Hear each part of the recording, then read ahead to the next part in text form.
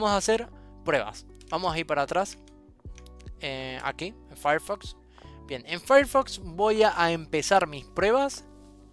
Este, desde acá. Voy escribiendo Blaze Demo.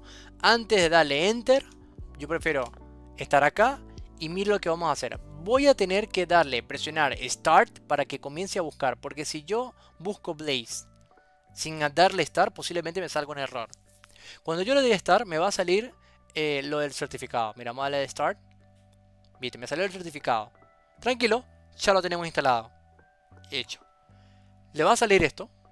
Para que puedan detener, la prueba en cualquier momento. ¿sí? Pero ya están listos, ¿sí? Ya pueden comenzar. Todo lo que hagamos, todo lo que vayamos a hacer, se nos va a grabar. Eh, perdón. Se nos va a grabar aquí, donde dice Treat Group, ¿vale? Porque le decimos el target. Vamos a ir al Firefox y me escribir Blaze Demo. Vamos a ir para allá. Bien. Vamos a hacer un... Vamos a acercar un poquito. Vamos a ir desde México hasta Dublín. Reinspirado, ¿eh? Vamos a poner esto aquí en la esquina. Bueno, luego vamos a... Estoy haciendo un, escenario de un usuario, ¿eh? Luego vamos a ir a agarrar este vuelo. Vamos a poner aquí a... Bla, bla, Aquí yo vivo en esto, en esto. Eh, aquí vivo en la ciudad papá. Y aquí yo vivo... me gusta más letra pequeña. Vamos a poner pipa. Y aquí voy a... Uy, mucho. Y aquí voy a vivir en el estado tiki pipi tiki. El zip code es estos tres números. Es una visa. El número de la, tarjeta es así. Capaz la pegué y me puse todos los números. No hay reglas de negocio, ¿eh? ¿eh? Así que estaría bueno probar en un software más real. Pero está bueno probarlo así algo chiquito. Y aquí voy a ponerle aquí eh, el papá. ¿Sí? Ahí lo puse. Año 2017, mes 11. Bueno, aquí tenemos nuestros datos. Vamos a darle purchase. Y ya tenemos comprada nuestra, nuestra hermosa y belleza eh, vuelo, ¿no? Para, para Dublín. Aquí tenemos unas cosas y algo así. Pero esto, esto tiene que ver con, la, con el request. ¿Listo? Ya terminamos nuestra prueba. Vamos a darle aquí en stop. ¿Vale? De hecho, antes de darle stop, les puedo mostrar. Perdón les puedo mostrar que aquí en Treat Group hay una flechita. ¿Qué es esto? Si yo le doy acá, boom. ¿Qué es esto? Esto es lo equivalente a Postman los requests. Damas y. Vamos a darle stop para que no me grabe más nada y que deje el, problema. Lo que vamos a hacer acá, lo que vamos a hacer acá es ver qué hay dentro de cada uno. ¿Mira? Eh, reverse, reserve viene del endpoint de reservar. ¿sí?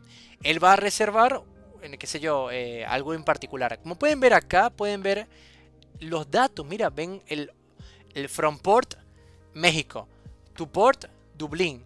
Bien, content type texto plano, ¿vale? La mayoría de las veces lo van a encontrar como JSON, ¿vale? Pero bueno, estamos haciendo un sub súper básico, por eso nos sale en texto plano. Esto es un método POST, viste que guardó todo. Mira, es un método HTTPS. Está en blazedemo.com. El número de puerto es 443. Bien, todo. Acá, la compra. Viste que la compra la hice con vuelo 43. Este es el precio. Ah, lo hice con América. México City, Dublín, ¿vale? Este fue el request de la compra. Y este fue de la confirmación de salga todos los datos. Mira, ¿eh? ¿Te acuerdas que yo, yo introduje todos estos nombres raros? Aquí está. Bien. ¿Qué, ¿Qué, qué, hicimos acá? Hicimos una grabación de un escenario. Por eso es que Performance Testing está muy apegado a Manual Tester. ¿sí? Ojo que se puede hacer pruebas automatizadas con performance, ¿sí? Con otras herramientas como eh, Key6, que está muy bueno, que lo vamos a explicar en otra oportunidad. Bueno, si nosotros seguimos bajando, podemos ver que aquí tenemos el, el HTTP Manager, podemos configurarlo, pero básicamente esto es lo que necesitamos, ¿sí? Y lo mejor de todo es que ya está en el Trade Group. Aquí solamente hay que decirle cuántos usuarios está haciendo esta acción. Ponele, vamos a decir una métrica.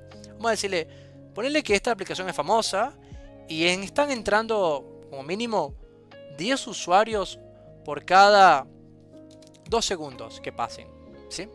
Por cada 2 segundos que pasen, eh, habrá 10 usuarios que están haciendo quilombo en la aplicación. Es decir, a lo largo de todos esos segundos se va a repartir los 10 segundos. ¿Qué quiere decir? Que no es que exactamente 10 personas lo van a hacer al mismo tiempo. No.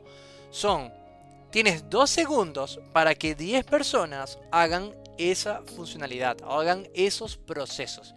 Esto implica de que puede haber una persona tras otra, ¿vale? En unas líneas del tiempo diferentes. O sea, están repartidas.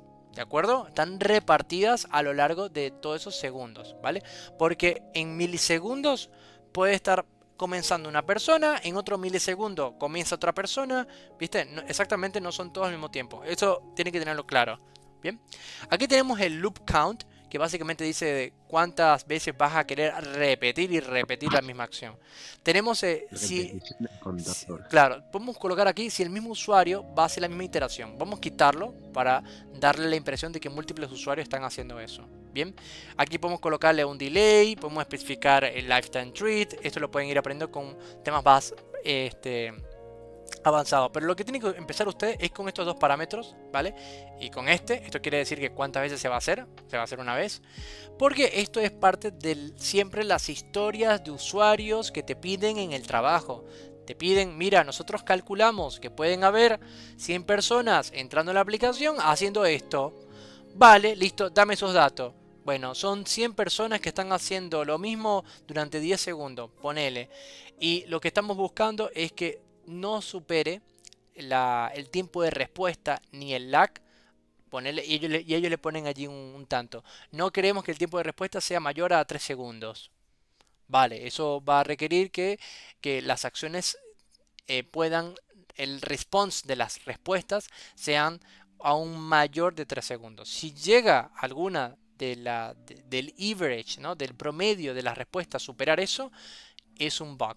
Igual eso lo vamos a ir viendo poco a poco de cómo encontrarle sentido a esto de las pruebas de performance. Porque una cosa es hacer todo esto, ¿vale? Chill, todo buenísimo. Pero cómo esto lo llevo a una historia de usuario, ¿vale? Eso lo vamos a tener eh, que ver eh, próximamente, ¿sí? El, lunes posiblemente que tenga la historia ya lista, se las enseño, ¿vale? Pero nada, ya tenemos esto, ya pausamos la prueba, ya tenemos nuestro request, vamos a ejecutarlo, ¿bien? Si yo lo llego a ejecutar, con esto que ven acá, que está vacío, se va a hacer lo que es la ejecución de prueba. O sea, la verdadera prueba ahora es que va